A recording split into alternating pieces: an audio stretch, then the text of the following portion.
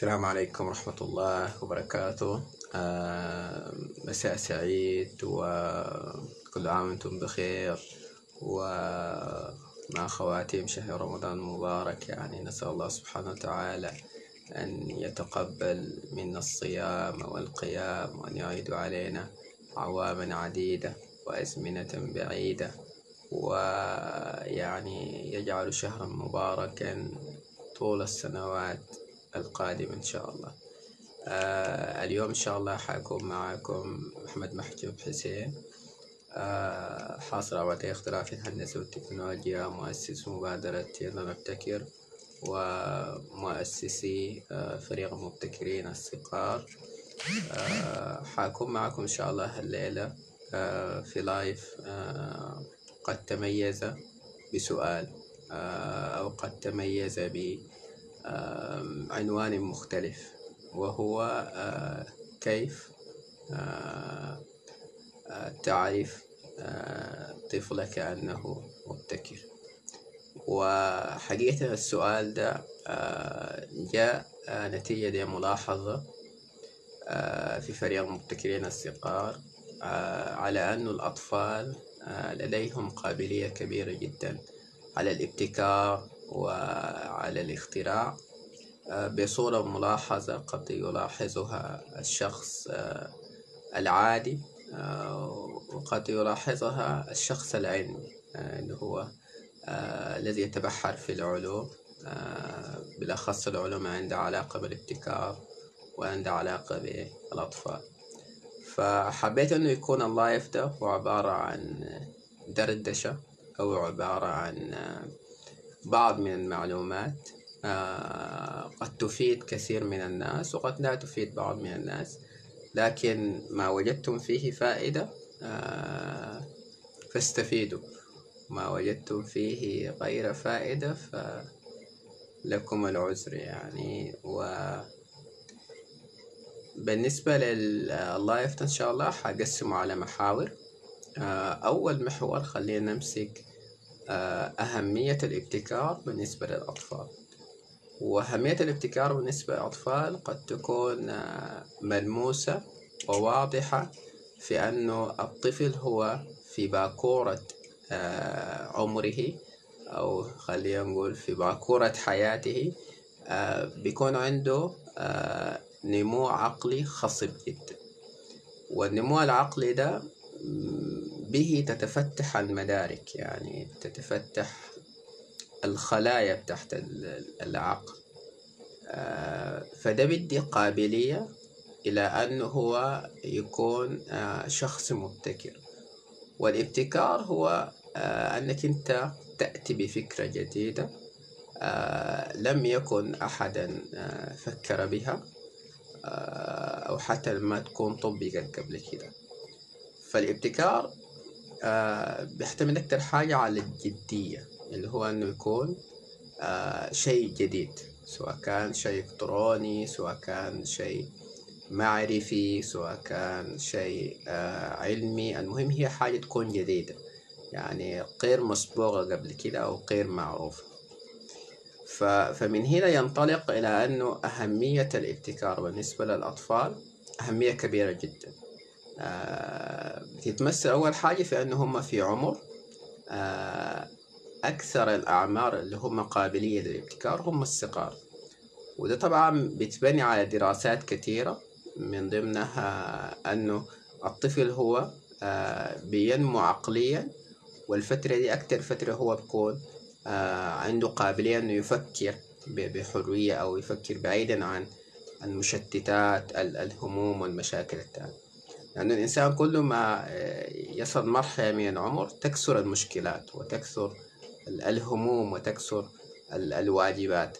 لكن الطفل هو يعني آه، بيكون يا دوب هو عايز يشوف الحياة ويكتشف الحياة. آه، من أهمية الابتكار للأطفال أيضا بتتمثل في أنه الطفل في بداية عمره بيكون هو عنده آه قابلية لحل, المشاكل. يعني مثلا آه بتلقى بعض من الأطفال هم آه بيحاول أنه هو يفتش حل المشكلة. يعني مثلا أقرب مثال هو عنده لعبة. اللعبة دي فجأة كده تعطلت. آه فهو بيقوم بيعمل شنو؟ بيقوم بيعمل آه بيفتش بيفرتك اللعبة دي تاني بيحاول إنه يكسرها عشان يشوف المشكلة وين عشان يحل. فبحاول بأساليب متعددة بأنه هو فقط يوجد حل للمشكلة. والحاجة دي آه، مهمة جدا في الابتكار لأنه الابتكار هو أصلا أنت بتبحث آه، عن إيجاد حلول للمشاكل لكن بتكون بطريقة إبداعية وبطريقة جديدة. ف... فده متواجد يعني في الأطفال. آه، أيضا أهمية أخرى من أهمية الابتكار بالنسبة للأطفال كان في دراسة أعتقد أنها هي كانت آه، فقط محصول الطلاب الجامعيين عندهم علاقة بعلوم الفلك وكذا لكن دخلوا فيها شريحة آه، طلاب المدارس والأطفال. ف... فوجدوا عندهم قابلية لحل المشاكل اللي عندها علاقة بالفضاء والحاجات دي. آه، بطريقة بهرت حتى الشخص اللي عمل الدراسة يعني. آه، والشيء الأكثر أهمية بالنسبة للابتكار للأطفال آه، أنه بدأت في منظمات ومؤسسات حتى كبيرة جدا. آه، أنا خطيت لينك فوق لوحدة منها اللي هي Children of Inventor الطفل المبتكر دي عبارة عن مؤسسة أو منظمة آه، في المملكة المتحدة آه، بتعمل على شنو؟ عندها من عمر سبعة آه، إلى 12 سنة. العمر ده من سبعة إلى 12 سنة. بيستقطبوا الأطفال على أنه أي طفل هو عنده فكرة يحل لها مشكلة إن شاء الله مشكلة الكهرباء مشكلة ال... يعني أي مشكلة في راسه مشكلة بسيطة مشكلة كبيرة بيحاولوا يستقطبوا الأطفال بأنه هم يحاولوا آه يجمعوا أفكارهم دي. يعني مثلا طفل يفكر في حل مشكلة يجمعوا الحل الفكر فيه ده فكر فيه بيعطوا طريق بعد ذاك بيعملوا شتو؟ بيعملوا بيربطوا الحلول دي بالمستثمرين آه، أو رجال الأعمال أو حتى المؤسسات اللي عندها علاقة بتحويل الأفكار إلى منتجات. يحاولوا يعملوا كونكشن يعملوا ترابط ما بين الأفكار الجاية من الأطفال وما بين الجهات اللي ممكن تحول الأفكار ودي حاجة آه، قد تكون يعني ذات أهمية كبيرة جدا أنه البلدان النامية والبلدان المتطورة بتحاول أنها هي تسلط الضوء وتهتم بالجانب ده أكثر. لأنه آه، بيفيده وبتستفيد منه بشتى الجوانب وبشتى الأساليب وبشتى الطرق. فحقيقة حاجة مهمة جدا على أنه الدول تحاول هي تهتم بشريحة الأطفال آه، كأحد أهم الشرايح بالنسبة للابتكار وبالنسبة للمبتكرين. وشريحة يعني تضيف إضافة كبيرة جدا وملموسة جدا آه، بالنسبة للابتكار. فقط تحتاج إلى الدعم والتوجيه الصحيح والإرشاد. وبإذن الله يعني آه، تضع أثرا طيبا وأثرا واضحا جدا. طيب آه، المحور الثاني واللي هو قد يتمثل في أنه كيف كيف تعرف طفلك أنه هو مبتكر؟ وحقيقة الإجابة على السؤال ده في نقاط أنا ممكن قد يكون لاحظتها خلال تجربتي بفريق المبتكرين الصغار. على أنه أول أول ملاحظ أول حاجة اللي هي الملاحظة أنك أنت بتلاحظ للطفل آه هل سلوكياته آه, آه، انفعالاته أفعاله تصرفاته الحياة دي كلها من أنت تلاحظ عليها أنه هو بيحاول يوجد حل للمشكلات أو كل مرة هو بيكسر له حاجة أو هو بفك له حاجة أو كده فده بيديك إشارة إلى أنه آه طفلك ده عنده بذرة آه من الابتكار أو عنده حب لأنه هو يحل المشكلات. فدي أول نقطة أنك أنت تعرف طفلك بالملاحظة يعني تلاحظ طفلك تصرفاته وأفعاله فإذا لقيت تصرفاته من تصرفات اللي ذكرتها دي فده عنده قابلية إنه هو يكون آه طفل مبتكر. طيب آه الحاجة التانية اللي هو بعد أنت ما عرفته حتعمل شنو؟ آه يفترض إنك أنت تعمل متابعة والمتابعة بتجي بأنك أنت تحاول توفر له بيئة داعمة يعني مثلا هو مهتم بأنه يفكك الحاجات ويعمل لها حل للمشكلات فبتحاول تجيب له الألعاب اللي هي أصلا آه يعني مثلا زي المكعبات يعني هو المكعبات بتدي حرية للتفكير إنك أنت تفكر آه تعمل لك شكل ما بعد ذاك تاني تحاول تعاي إذا فيه مشكلة تعمل شكل تاني وكده يعني. فتحاول تجيب الألعاب وتوفر له البيئة مثلا تجيب له الأجهزة الإلكترونية تجيب له فيديوهات آه مثلا عندها علاقة بالابتكار آه الحاجات دي هي بتأثر آه تثقفوا أكتر عن الابتكار هو شنو وفوائده شنو وأنت حتستفيد منه شنو كده فدي حاجة مهمة جدا. الحاجة الأخيرة آه ونقطة برضو من المحور ده آه اللي هي المتابعة. يعني أنت ما خلاص اديته الفيديوهات أو خلاص جبت له الحاجة الفلانية على كده خلاص تنقطع المتابعة. لا آه لابد من المواصلة آه إنك أنت تحاول تتابع معاه آه فترة فترة وما تضغط عليه بحيث إنه هو ما يكون آه الابتكار ده بالنسبة له هو كهاجس. يعني ليل نهار هو يصحى والله أنا عايز أبقى مبتكر أنا عايز أبقى مخترع. أيوة هو حاجة كويسة جدا لكن لابد هي أن تقسم وتوظف توظيف توظيف صح وبعد ذاك بتثمر يعني إثمار. آه جيد وإثمار آه متميز يعني. بس هو يكون في تقسيم جيد تقسيم صحيح لولي الأمر لطفله آه إنه ياخذ الوقت الفلاني انت أنا حأشتغل معاك إنك أنت تعزز قدراتك في الابتكار والاختراع. والحاجة دي لابد برضو نشير عليها إلى أنه أولياء الأمور إذا هم ما بيعرفوا حاجة عن الابتكار أو الاختراع يحاولوا أن هم يثقفوا نفسهم أكثر برضو في القنوات بتاعة اليوتيوب كمية من الفيديوهات في website يعني مواقع إلكترونية كبيرة جدا. فيها محتوى تثقيفي يعني يثقف ولي الأمر لأنه هو الابتكار ده شنو؟ وكيف أنك أنت تقدر تعزز قدرات طفلك في الابتكار كيف تقدر تنميها الطرق والوسائل للحاجات دي شنو كده. طيب آه ممكن نمشي لمحور تاني. أو محور آه قبل الأخير آه اللي هو طرق تنمية آه قدرات الطفل للابتكار. يعني الطرق شنو؟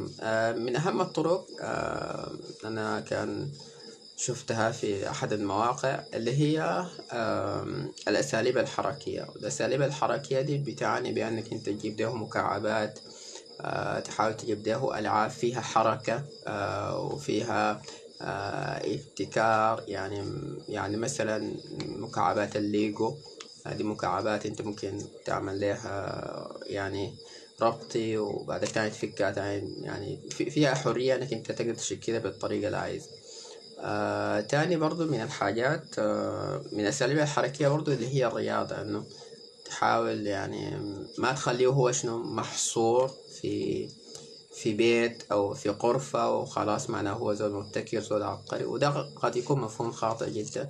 يظن كثير من الناس إنه الزول المبتكر أو الزول المخترع تلقاه دائما هو مقفول كده ومقبوع كده في غرفة مظلمة ما عارف حاجاته كلها مزجلة في أي حتة. وهذا مفهوم خاطئ جدا. بل بالعكس المبتكر هو زول منظم. زول علاقاته جيدة مع الآخرين زول مترابط اجتماعيا زول عنده هدف واضح هو ماشي عليه. فالنمط ده أيضا يزال بالنسبة للأطفال إنه ما ما يكونوا هم بس في في محصورين في في في غرفة واحدة وخلاص أنا ولد مبتكر وحيبقى مبتكر ومخترع قدر العالم. لا لا لابد أنك أنت برضو تغرس فيه. آه الغرس الاجتماعي أو حب المجتمع والترابط الاجتماعي علاقات الاجتماعية تكون جميلة جدا وكويسة جدا. ودي أكيد بتحس بتأثر آه إيجابا في أنه هو يقدر يتقدم. وبتأثر إيجابا أكتر لما تكون علاقاته الاجتماعية أو علاقاته حتى بالنسبة للأصدقاء آه، مع الناس المهتمين بالابتكار. يعني مثلا آه، شفت لك تاني كم طفل تاني مثلا في الحي أو في في المدرسة وعندهم علاقة بالابتكار وهم حتى بيحبوا الحاجة دي. ف... فليه ابنك ما يكون هو معاهم سوا في آه كصاحب أو كصديق؟ الحاجة دي بتأثر جدا آه لما تكون الناس كلها هي مهتمة مع بعض في حاجة واحدة. آه وطبعا بتأثر سلبا لما يكون أي زول هو اهتمامه في, في ناحية تانية وبتأثر سلبا أكتر لما يكون الزول هو ما مهتم بالحاجة أنت مهتم بيها بل بيسعى إنه هو يعني يشيلك من الحاجة دي بحيث إنه والله يا أخي آه ليه فلان الفلاني طفله يكون هو مبتكر ومخترع وكده. فالحاجة دي برضه بتدخل الضغينة والحقد والحسد. فاختيار ال ال ال الأصدقاء أو الشلة بالنسبة لطفلك بتكون حاجة جميلة جدا إذا كان هو في نفس اهتمام آه ابنك بالنسبة للابتكار أو الاختراع. طيب آه أنا برضو في حاجة تانية من الأساليب اللي هي تهيئة البيئة. يعني أنت تحاول تهيئ البيئة بالحاجة المستطاعة طبعا رغم التحديات ممكن تكون شغالة حسي أنت بتحاول تهيئ البيئة بقدر المستطاع. يعني. طيب آه تاني برضو اللي هو النقاش. النقاش واحد برضو من أساليب اللي بتنمي الابتكار بالنسبة للطفل أنه تديه يعني بحبوحة زي ما نقول أو نوعا من الحرية آه بالنسبة لأنه هو يناقش وياخذ رأيه كده يعني ما ما تقبل أنه والله أو يعني تقول أنت زول طفل أنت لسه ما أنت لسه صغير عقلك صغير آه قم شوف آه شغلك بوين. فهذه هي مدمرة آه، جدا جدا آه، بغض النظر عن الأسلوب طبعا. لكن هي مدمرة يعني من, من ناحية أنه الطفل هو بيكون آه، محروم. فأنه هو يناقش يعني وهو يتكلم ويقول رأيه. في النهاية ال ال الولي الأمر هو اللي بياخد بالرأي الصح وهو اللي عنده خبرة لكن لابد أنك أنت تسمع له يعني على الأقل يعني. وأكيد يعني إذا هو رأيه أو مناقشته كلها غلط بيكون في مناقشة صحيحة يعني فما تحرموا من الحاجة دي. برضو من الحاجات برضو ممكن تكون من الطرق أو الأساليب اللي بتنمي الابتكار بالنسبة للأطفال اللي هو أنك أنت ما تديه الحلول الجاهزة. يعني والله يا أخي يا محمد آه هاك الحاجة دي سويها لي. آه تديها له جاهزة. يعني مثلا آه آه يكون مثلا في مشكلة في البيت صغيرة كده. آه مثلا الباب بتاع الشارع يتعطل أو قفل فتقول له يا هات ده المفروض كده ممكن تمشي تشوف تحاول تصلح يعني. فما تديها له جاهزة نقول له هاك آه والله يا أخي أمشي نادي الصانع أو الزول اللي بيصلح الباب وجيبه لي فلما أنت تعوده على الحاجات إنه هو يعني يفكر فيها براه ويحاول إنه يصلحها براه ويحاول إنه هو يعني ما يلقاها جاهزة. الحاجة دي آه، من أهم الطرق اللي ممكن تنمي الابتكار في في طفلك يعني. آه، ودي برضه بتديه شنو؟ بتديه إنه حرية إنه هو يفكر في حل المشكلة. يعني أنت لما تديها ده جاهزة ما خلاص هو ما حيفكر. لكن لما ما تديها له جاهزة هو على الأقل حيفكر إنه هو يحلها كيف ممكن هو يفشل أكيد ويفشل مرة وتانية. ولكن أنت بتكون معاه آه، سنديه وإنه أنت تحاول تدعمه بال... بانه والله يا أخي هاي فكرتك دي ما صح فممكن نعدلها نمشي فيها كده فده برضو بتكون حاجة مهمة جدا وعي أولياء الأمور بالنسبة للنقطة دي وثقافتهم بالنسبة للابتكار للأطفال نقطة مهمة جدا وبتشكل أكيد يعني دعم كبير جدا لأطفالهم أن هم آه، يصبحوا ناس مبتكرين ويصبحوا ناس يعني آه، يشار إليهم بالبنان يعني. طيب آه، طيب تاني أنا بس عندي نقطتين وبعدك أختم عليهم. اللي هو بالنسبة لصفات الطفل المبتكر الصفات الممكن هي قد تكون ملاحظة بالنسبة لي أنا وفي صفات يعني قريت عنها. من أهم الصفات اللي هي أنه الطفل يكون عنده مرونة في التفكير. يعني شنو؟ يعني هو ما بيكون تفكيره منحصر منحصر آه، في حاجة واحدة. يعني والله يا أخي آه، ولدي ده بفكر مثلا آه، يعني أنت بتكون ملاحظ إنه والله يا أخي حتى في حل الواجبات مثلا واجب رياضي. هو والله يا أخي يفكر بالطريقة المحتاجة دي. فالطفل المبتكر بيكون خلاف كده. هو يفكر بطريقة أخرى غير الطريقة اللي هو شايفها أو درسوه لأهله فده بيدي مرونة للتفكير. فمرونة التفكير دي آه، من أهم الصفات ممكن هنا تكون موجودة بالنسبة للطفل المبتكر. طيب آه تاني برضو من الصفات آه ممكن تكون موجودة برضو اللي هو الاستقلال الشخصي. يعني شنو؟ يعني هو بيكون مستقل شخصيا آه، بيكون عنده شخصية كويسة آه بيكون هو عنده رأي. آه عايز يقوله. آه عنده شخصية إنه هو عايز آه عارف هو حيعمل شنو وعارف هدفه شنو. فبالتالي ما حيكون مشتت الجهود وما حيكون هو أي حاجة هو داير آه، يعملها وهو داير يشتغل عليها. طيب آه تاني برضو اللي هو تحمل الأخطاء. يعني الطفل المبتكر آه، بيكون هو عنده قابلية إنه هو يتحمل الأخطاء. ودي صفة آه، كويسة جدا آه، بالنسبة للأطفال المبتكرين لأنه بتشير ذلك إنه هو بيتحمل الخطأ الأول عشان يوجد الحل. فإذا أخطأ تاني برضه بيتحمل عشان يوجد الحل. فإذا كان في كمية من الأخطاء برضه بيتحملها عشان هو يصر على إنه يوجد حل للمشكلة دي.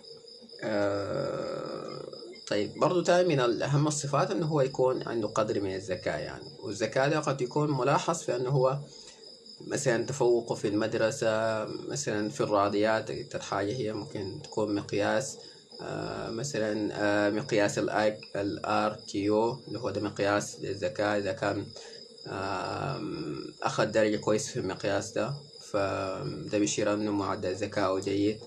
فده بيديه صفة كويسة إنه هو طفل مبتكر برضو ثاني اللي هو اللي هو انخفاض مستوى القلق. يعني الطفل هو ما بكون شنو؟ الطفل المبتكر ما بكون زول قلق جدا يعني خواف بالمعنى الواضح إنما هو بكون زول ثابت وهادي وعنده يعني رزانة يعني يعني شنو؟ يعني بيكون هو عارف إنه هو آه والله إذا أخطأ في الحياة الفلانية فما خ... ما حيقلق. يعني ما حيكون عنده قلق وخوف وإنه أنا أجرب الحياة دي أو لا. لا بالعكس يكون عنده شجاعة إنه هو يطور من مقدراته وعنده شجاعة إنه هو آه يواجه المشكلات اللي ممكن تكون آه بالنسبة له عائق بل هو يواجهها بكل شجاعة بكل آه، صدر رحب وبيسعى كمان إلى أن هو يوجد حل للمشكلة دي. وإيجاد الحل طبعا أكيد ده داير صبر وداير عزيمة وإصرار وشغف أنه هو يواصل في الحياة دي. وما من أول آه يعني نقطة طوالي يجيف عشان هو ما لقى حل لها آه آخر حاجة في اللايف ده اللي هي حتكون إرشادات آه كده بالنسبة للأطفال هم ممكن يكونوا مبتكرين.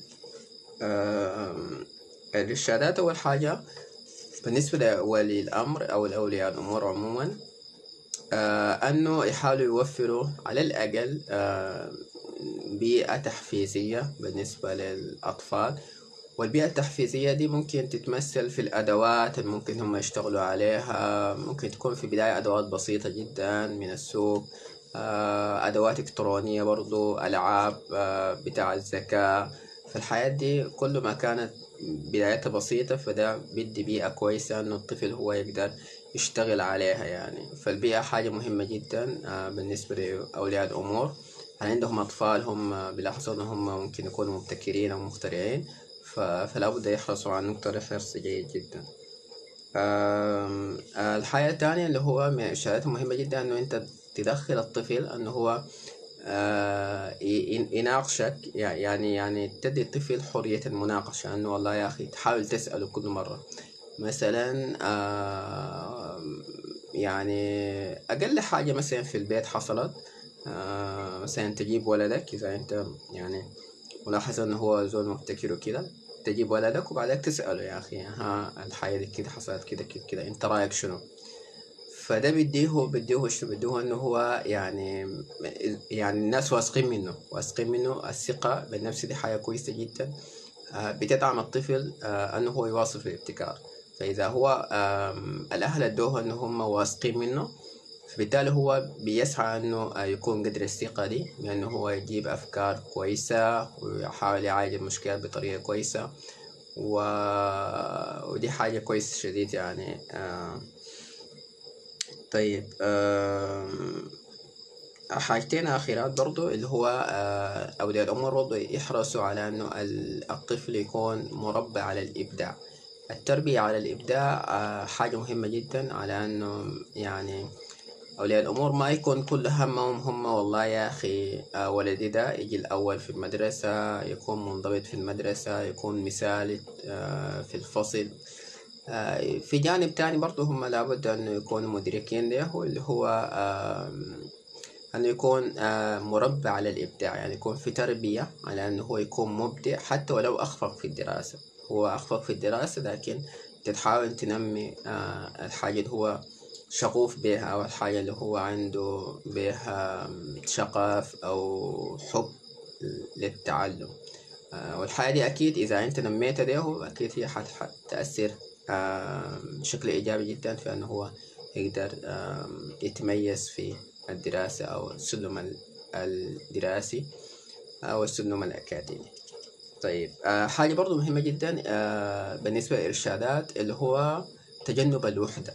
يعني وده ذكرتها آنفا أنه آه، ملاحظة على أنه معظم الناس هم بيشوفوا ال- الزول المبتكر أو الزول ال- المخترع أو العبقري أو العالم آه، هو زول شنو؟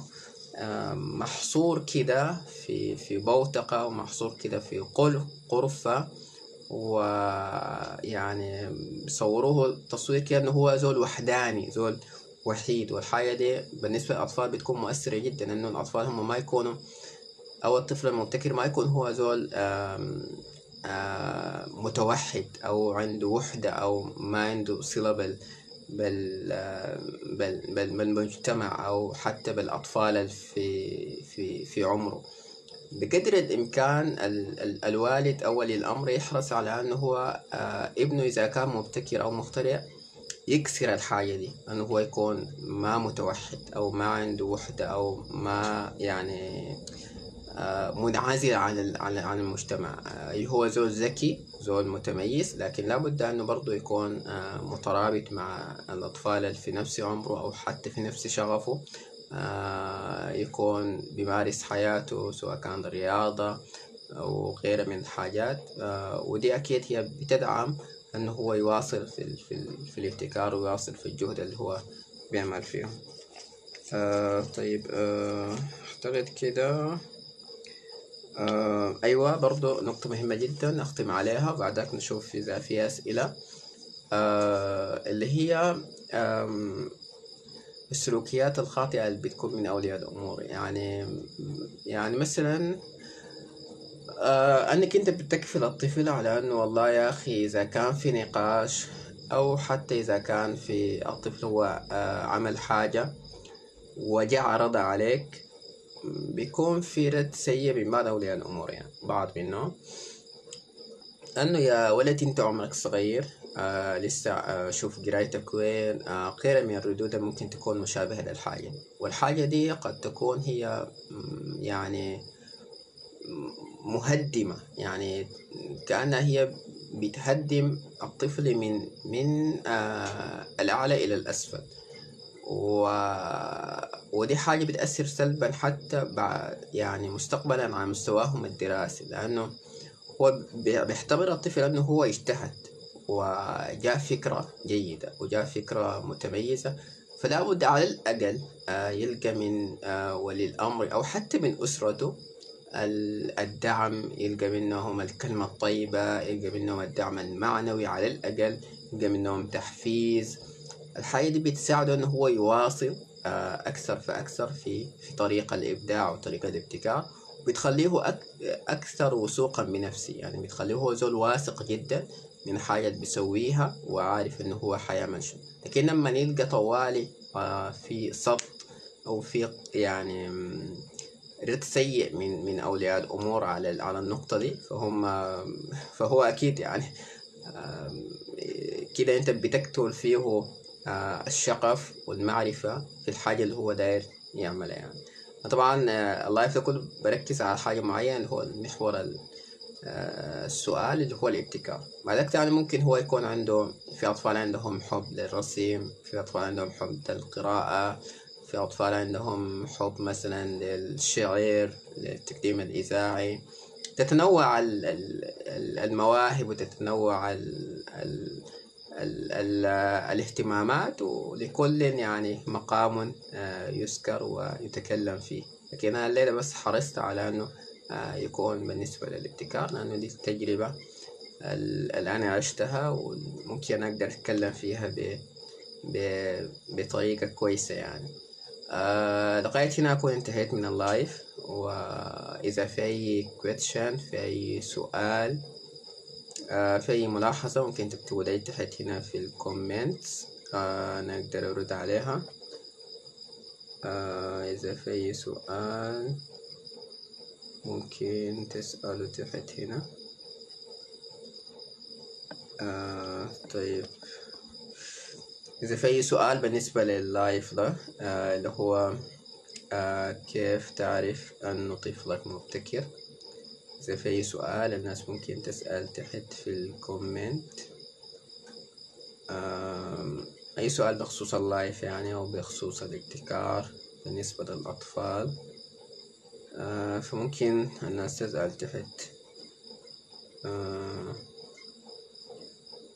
طبعا الأطفال هم يعني الحاجة الكويسة شديد أنه يعني بيفهموا العلوم بشكل عجيب جدا بالذات العلوم اللي عندها علاقة بالابتكار. يعني مثلا الإلكترونيات. الإلكترونيات ممكن تكون مدخل للطفل أنه هو يبتكر. إن الإلكترونيات فيها الأردوين وفيها آه الحاجات البرمجية. فدي بتدي يعني آفاق كبيرة جدا إنه الطفل هو يكون مبتكر ويكون يعني شخص عنده أفكار آه، يقدر يحول منتجات يعني مستقبلا. وبإذن الله يعني إذا كان في توعية جيدة آه، متأكد يعني وواثق جدا من النقطة دي أنه أطفال السودان آه، لا يقلون من من من أطفال هم خارج السودان وفي الدول الأجنبية والدول العربية بل هم أحرص على أن هم يتميزوا في الابتكار والاختراع وإن شاء الله يعني مستقبلا نشوف آه، آه، طفل مبتكر من السودان على مستوى العالم يعني. الحياة دي إن شاء الله. آه، ما بعيدة وما مستحيل. فإذا ما في سؤال شكرا لكم على ال live الجميل شكرا على المتابعة. في ناس ما شاء الله يعني من بداية ال live كانوا معاي ملاحظهم. شكرا لكم جدا. إن شاء الله تكونوا استفدتوا وان شاء الله تكون آه، تجربة أو يعني live جميل جدا لكم. وإلى نلقاكم في live آخر. أستودعكم في رعاية الله وحفظه. والسلام عليكم ورحمة الله وبركاته.